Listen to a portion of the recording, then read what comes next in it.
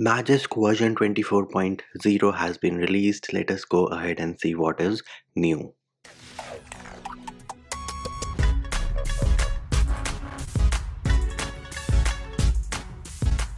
Hey peeps, what's up? Munchy here, back with another video.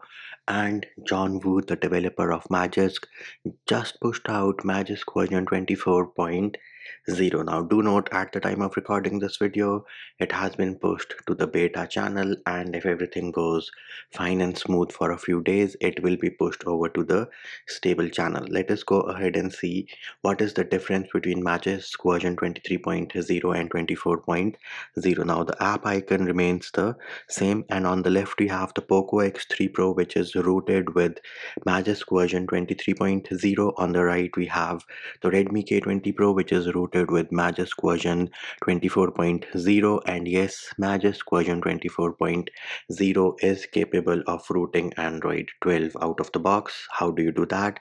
Video can be found in the description of this video. Now the first change you will notice is here in the Magisk section. So AB and SAR have been removed, but you have something called Zygisk, and right now that is set as no. The version, of course, is 24.0. In the application section, there are not many changes. Major change over here is that safety net check has been removed, and that is because Magisk version 24.0 Magisk hide has also been removed so if you go into the settings option herein you will only see the option for hide the Magisk app. In the Magisk section the Magisk hide option has been removed. And why is that? That is because John Wu is sick and tired of this cat and mouse game. But but but that my dear friends does not and I repeat it does not mean that you cannot bypass safety net with Magisk version 24.0. You can do it and you do have to use Zygisk. So with 24.0 you will notice a new option called Zygisk. Right now it is in beta stage. How do you bypass safety net with Zygisk?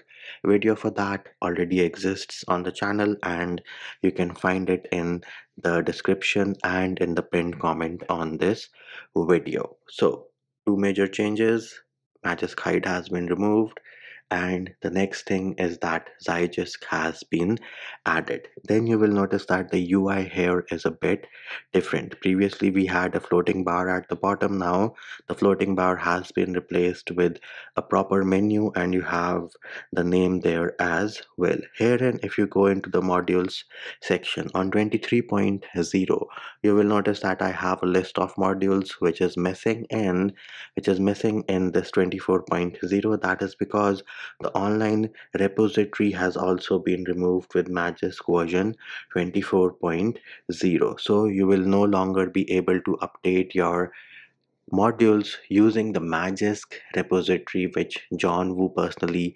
maintained and decided what all modules will show up over there but you can always install the modules manually from your specific device that is your internal storage. And another tweet i think i read from john wu was wherein he mentioned that he might add support to the module itself wherein the module will be able to determine from where you can update it. So that would be a pretty nifty feature if and when john wu adds it. And there it is peeps. That is what was new and different between Magisk version 23.0 and Magisk version 24.0 and before I end the video a lot of you are going to ask me then hey Munchy how do you check for safety net? Because the option has been removed from Magisk version 24.0 well me personally I am using this application called yet another safety net attestation checker. And again link to this can be found in the description of this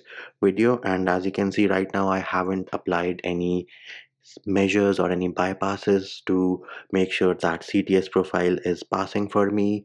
But again the video is in the description of this video and that will do it for this one. Hope my video helped you. Likes shares and subscribes are appreciated. Feedback and comment more than welcome. See you when i see you